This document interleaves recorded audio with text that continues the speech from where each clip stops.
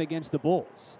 But I did some research as Lowe does some research here. He's not going to need a pink bat to tie the game. He does so nine rows deep in right center field. And the lead for Gwinnett is gone. Third home run for Josh Lowe. It is 23 Durham Bulls at bats. And it's 3 3 in the third.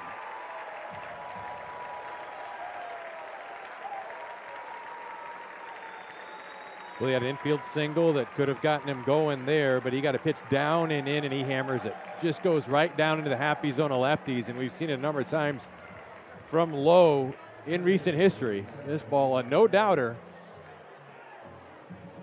The Bulls tied up with one swing. How about that?